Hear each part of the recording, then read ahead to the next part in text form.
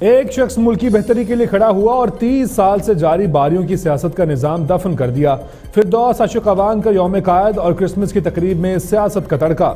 بولی عمران خان قائد اعظم کے سپاہی اور عوام ان کے ساتھ ہے۔ وزیر اعظم دنیا کو پاکستان کا روشن چہرہ متعارف کروا رہے ہیں۔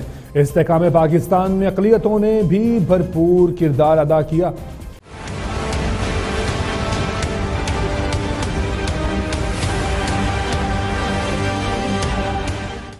سال سے زائد اس ملک میں دو جماعتوں کا جو باریوں والا اقتدار کا نظام تھا، اس کو دفن کرتا ہے اور تیسرے آپشن کے طور پہ قوم کے سامنے کھڑا ہوتا ہے اور قوم اس کے نظریے کے ساتھ کھڑی ہوتی ہے، اس کی آئیڈیالوجی کے ساتھ کھڑی ہوتی ہے اور اس کی کاز کے ساتھ کھڑی ہوتی ہے۔